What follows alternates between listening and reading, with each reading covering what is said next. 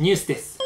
京都土産といえば八つ橋あじあり餅稲しば漬けです。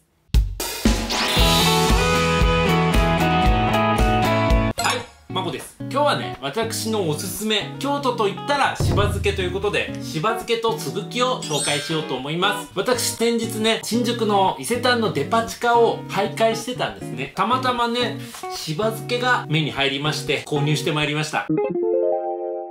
まあ、というわけでこのしば漬けとすぐき食べていこうと思います。はい。というわけでタッパーにまず入れないと。すぐきからいかせていただきます。はい続いてあしば漬け。はいというわけでしば漬けとすぐきになります。はいご飯もいただきます。まずねしば漬けちゃんからウィッ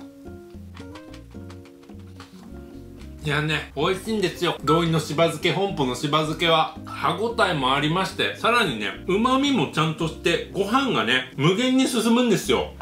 はあ、続いてね、すぐきです。皆様、すぐきご存知ですか？あの、すぐきはね、株の仲間みたいなもので、詳しくはこんな感じになります。こちらもね、美味しくてね、酸っぱくて。いただきます。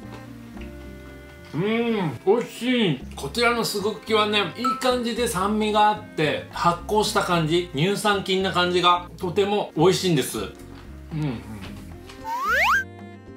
私旅行といったらもう京都っていう感じで1年に1回ぐらいは京都に行くようにしているんですがその時ねしば漬けをね買ってしまうんですよね。で私がよく買うのは JR の京都駅ビルあるじゃないですか。あそこに大丸が入ってるんですけどあそこのね土井しば漬け本舗のお店がありましてそちらでね試食をしながら買うというのが私の旅の楽しみの一つでございます。うん。